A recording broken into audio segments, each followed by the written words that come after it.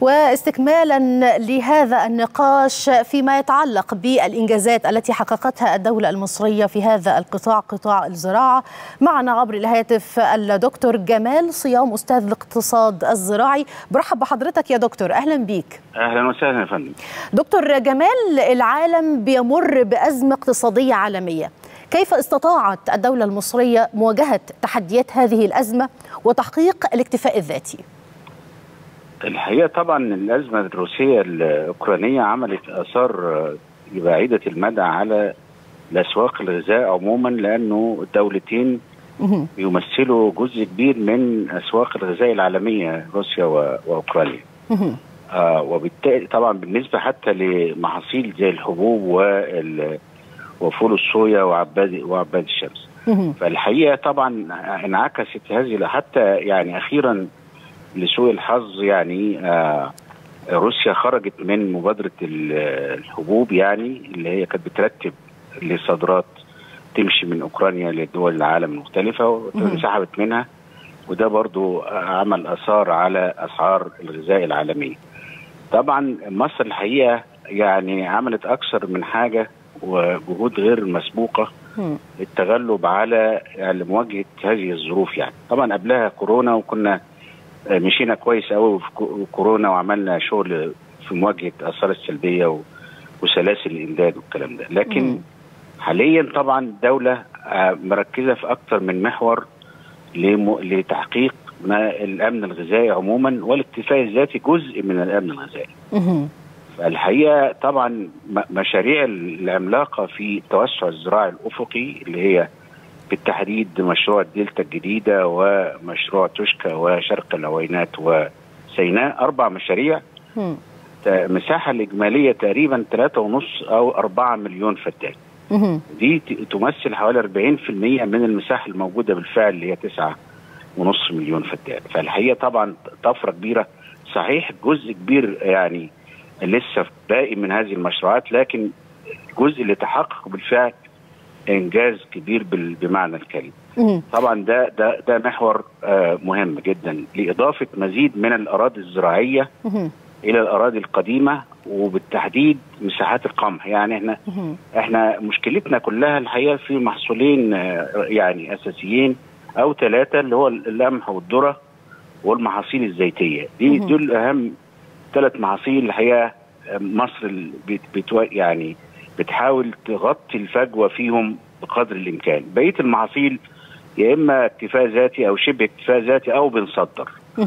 فالحقيقة طبعا مصر عملت بالنسبة للقمح في توسعات يعني في في المح... في المشاريع العملاقة.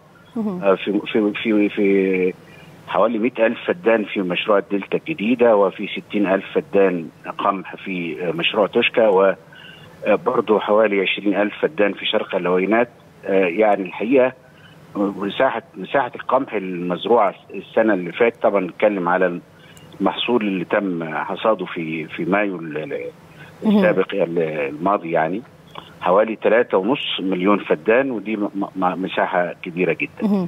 انتجت حوالي 10 مليون طن آه يعني تمثل حوالي 45 أو 50% من دلالة هذه الأرقام اللي حضرتك بتذكرها دكتور جمال وخاصة كمان أنه شملت رؤية الدولة في هذا القطاع هي فكرة الزراعة التعاقدية عايزة أتحدث مع حضرتك أيضا عن أهمية الزراعة التعاقدية في الوقت الحالي وخاصة زي ما حضرتك ذكرت في يعني إجابتك في النقطة السابقة أنه هذا ما يعود عليه سد الفجوة الاستيرادية من الخارج.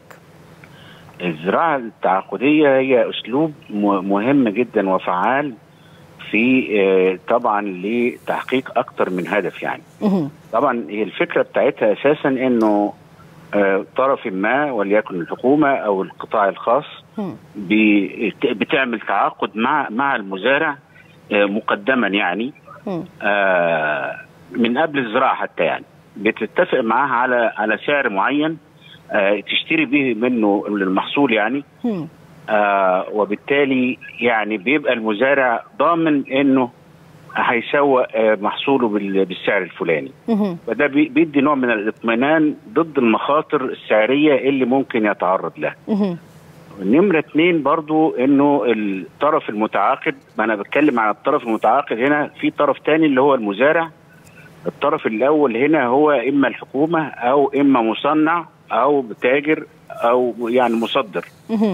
يعني ده ده الطرف الأول بيبقى أحد الثلاثه دول يعني. إنما الطرف الثاني هو المزارع عموما يعني. فبيبقى في عقد يعني. بيلتزم فيه الطرف الأول بإنه يشتري المحصول من الطرف الثاني اللي هو المزارع بسعر محدد في وقت الحصاد. وده بيأمنه بيأمن المزارع يقصد. ضد أي مخاطر سعريه أو ضد مشاكل تسويقية. أهمية ذلك يا فندم في الوقت الحالي لتقليل فجوة الاستيراد من الخارج. ما هو الحقيقة ده بيطمن لما لما المزارع يطمئن بالنسبة لمحصول زي القمح مثلا أو بالنسبة لمحصول زي الفول الصويا أو الذرة المحاصيل اللي إحنا في الفترة الأخيرة يعني في في أزمات زي الأعلاف اللي حصل مع الدواجن والكلام ده فالحقيقة ده بي ده بيعمل نوع من تحفيز المزارع على زراعه المحصول موضع الزراعة التعاقدية. ويتوسع فيه وبالتالي بنضمن إنه في رفع في درجة الاكتفاء الذاتي لأنه المحصول يتوقع إنه هيزيد. ده, ده الفكرة بتاعت الزراعة التعاقدية. لكن أنا عايز يعني برضو أشير إلى مسألة التخزين الاستراتيجي اللي الدولة نجحت فيه إلى حد بعيد برضو. أمنت حوالي ست شهور يعني من استهلاك محصول القمح بينما كان من 2014 مثلا لا يتجاوز التخزين الاستراتيجي مليون ونص طن. فالحقيقة دلوقتي يعني في أكثر في أربع أضعاف أو خمس أضعاف طاقة التخزين الاستراتيجي وده وده أنفق عليه حوالي 30 مليار جنيه لإنشاء الصوامع ما يسمى بالمشروع القومي للصوامع الحديثة يعني. فده ده مهم. برضه في انفاقات تانية على يعني المية الميه جزء مهم في موضوع الأمن الغذائي والاكتفاء الذاتي. فالدولة الحقيقة رصدت حوالي 900 مليار جنيه في خطة طموحة جدا من 2017 ل 2037 بتنفذها وزارة الموارد المائية والري. جزء كبير من الخطة الحقيقة اتعمل. يعني من سبع من 2017 ل 23 حوالي ست سنين دلوقتي في محطات آه تحلية مياه البحر اتعملت وفي محطات آه معالجة مياه الصرف الزراعي والصحي اللي هي محطة الحمام اللي بتغذي مشروع الدلتا الجديدة ومشروع آه محطة بحر البقر اللي بيغذي والمحسمة اللي بيغذوا سيناء في سيناء يعني. فالحقيقة دي المشاريع كلها الحقيقة بتطمن الدولة وبتطمن القطاع الزراعي ضد أي أزمات مية يعني مقبلة إنه في زيادة في المعروض المائي واللي بي بي يعني بيطمن يعني القطاع الزراعي والمزارعين. وتشجيعهم أيضا يا فندم على الزراعة. يعني المية يعني جزء حاسم في القطاع في الإنتاج الزراعي يعني بدون طبعا المية هتبقى في مشكلة. فالحقيقة دي أكتر. في برضه مشروع تحديث مياه اتصالا بالمية يعني. في مشروع تحديث نظم الري. التحول من مياه من نظام الصرف الزراعة الري بالغمر إلى نظام الري الحديث اللي هو بالتنقيط أو بالرش. وده بيوفر حوالي 30% من مياه الري في الزراعة. ودي بتستخدم بقى برضو في استصلاح المزيد من الأراضي في المشروعات اللي إحنا اتكلمنا عنها في المشروعات العملاقة. طبعا ما ننساش برضو إنه المزارع في الزراعة القديمة يعني يسمى بالزراعه القطاع القديم في الزراعة حوالي 6 مليون فدان غير القطاع الجديد ده. يعني في اهتمام بالمزارع اللي هو جزء منه الزراعة التعاقدية جزء آخر يتعلق ب الإرشاد الزراعي وبالنسبه للألبان في إحلال الابقار الخليطة عالية الإنتاجية محل الأبقار البلدية. وفي الدولة برضو حفزت المعامل تجميع الألبان برضو خمسين ألف جنيه لكل معمل يعني آه ألبان. ده برضو خطة آه مشروع البتيلو برضو. قطاع برضو اللحوم الحمراء والدواجن برضو آه الدولة حطها في الاعتبار على أساس إنه القطاع البروتيني بقى أو الجزء البروتيني من الغذاء يتم تأمينه على المدى البعيد. طبعا يعني بكل تأكيد يعني كل هذه الاستراتيجية هختم مع حضرتك بكيف تعود بزياده الاقتصاد المصري خاصة ما يتعلق بهذا القطاع في عجالة شديدة. طبعا الزراعة أساسا قطاع مهم جدا اجتماعيا يعني لما بقول اجتماعيا وفي اقتصاديا، اقتصاديا الزراعة تساهم بحوالي 10% من الناتج المحلي الإجمالي. لكن في مقابل في المقابل النسبة يمكن المتضائله ديت كان يوما ما 30% من القطاع الزراعي يعني.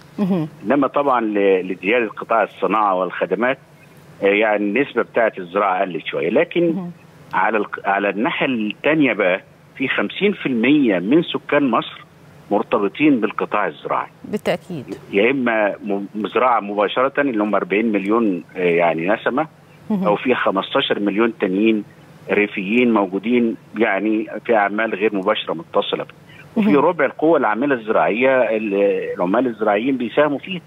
بالتأكيد. والصادرات أيضا. فاذا إحنا بنتكلم على يعني أمن غذائي وأمن اجتماعي وتأمين يعني دخول المزارع قطاع كبير من المزارعين. اللي إحنا عارفين طبعا إنه في 80% من المزارعين في مصر يعني صغار يعني الحجم الزراعي يعني بتاعهم. فدان ونص فدان والكلام ده. فالحقيقة الجمعيات التعاونية والإرشاد الزراعي والبحوث الزراعية كل ده بي يعني بي بيلتئم في مجموعة أو حزمة مهمة جدا بتساعد المزارعين على خاصة دكتور جمال إنه الدولة أيضا يعني شملت هذا الدعم بصغار المزارعين لتشجيعهم على الزراعة. في دعم مهم جدا اللي هو دعم الأسمدة برضه لازم نتكلم عليه يعني. اتفضل يا فندم. السماد عنصر مهم جدا في الإنتاج الزراعي. لو ما تحطش السماد وبالتالي وبالذات الأسمدة الأزوتية اللي هي اليوريا وسلفات الأمونيوم والنشادر يعني. الحقيقة الدولة بتدعم نص سعر اليوريا والأسمدة الأزوتية. وده حمل كبير جدا ودعم مهم جدا. المزارع يعني طبعا بيقدر الدعم ده بحوالي 20 مليار جنيه في ميزانية الدولة يعني. لكن دعم مهم بالإضافة إلى أنواع الدعم الأخرى. بنتكلم لازم نتكلم بقى عن حياة كريمة ومشروع حياة كريمة. اللي هو بيمتد إلى يعني عديد من القرى آه الاكثر احتياجا آه وده مكونات المشروع الحقيقة. يعني هي الحقيقة رؤية شاملة في هذا القطاع للنهوض به والاستفاده منه وتحقيق زي ما حضرتك قلت يعني الأمن الاجتماعي والمادي لكل من يعملون في هذا القطاع. أنا بشكرك شكرا جزيلا دكتور جمال صيام أستاذ الاقتصاد الزراعي. شكرا جزيلا لوجود حضرتك معنا يا فندم.